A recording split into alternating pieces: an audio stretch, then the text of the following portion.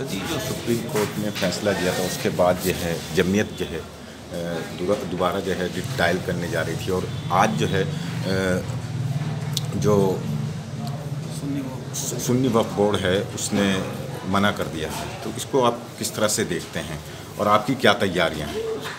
آدمی کو اختیار ہے جی چاہے جائے جی چاہے نہ جائے۔ سنی وقت بورڈ نے تو پہلے ہی اپنے آپ کو وڈرا کر لیا تھا اور اپنے مقدمے کو عین وقت کے اوپر جب فیصلہ آنے والا تھا وہ پیچھے ہٹ گئے تھے۔ اب اگر وہ ریویو نہیں جانا چاہتے تو وہ جا ہی نہیں سکتے ہیں۔ جب پہلے ہی مقدمے سے ہٹ گئے تھے تو اب دوبارہ ریویو کے اندر جانے کا ان کا کیا باقی رہ رہا ہے ہم لوگ تو جا رہے تھے کہ کورٹ نے خود یہ بات کہی ہے مشورہ دیا ہے۔ کہ اگر کچھ اس کے اوپر اشکال ہے تو جایا جا سکتا ہے، ہمیں اس کے اوپر اشکال ہے۔ جب مسجد کسی مندر کو توڑ کر نہیں بنائی گئی ہے اور اس مسجد میں مورتی رکھنا ایک جرم تھا مجرم ہیں وہ لوگ، اس کو شہید کرنا مجرم ہے، تو یہ تینوں چیزیں تو یہ بتا رہی ہیں کہ وہ مسلمانوں کا حق ہے۔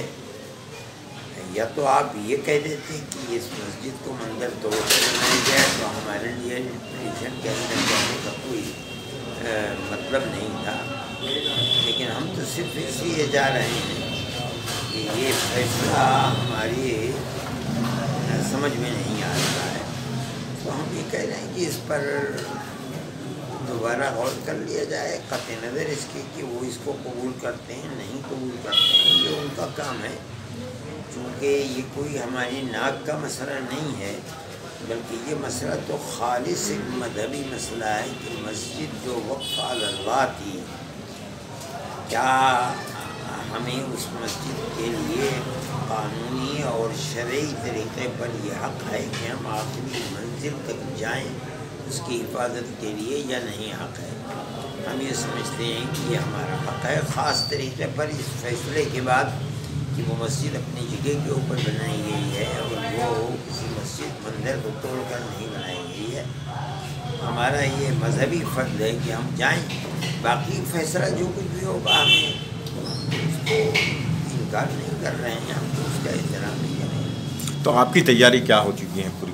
کتنی تیاریاں ہو چکی ہماری تیاری جو ہمارے وکیل تھے آن ریکارڈ اعجاز محمود صاحب وہ اور جو ہمارے سینئر وکیل ہیں راجو دھون یہ دونوں مل کر کے اس کی تیاری کر رہے ہیں اور وہ تیاری تقریباً ہو چکی ہے۔ آنے والے دو چار دن کے اندر اندر ہم اس کو